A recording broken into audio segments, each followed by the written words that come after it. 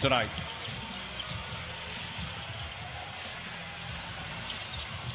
James comes up, down to Davis. Oh, what a block by Nunn! Kendrick Nunn rejects Anthony Davis. That's a top 10 play right there. Butler on the drive. Kicks it back out to Nunn. Tyler Herro up top to Butler, poked away. And an offensive foul called on Herro's drive. Offensive foul, Miami's number 14. Nunn is only Tyler 6'2. Third personal. No team foul on the play. Wow. On the. But it's the effort that put him in position to, to get that block. So you're telling me that you're capable, not only him, but the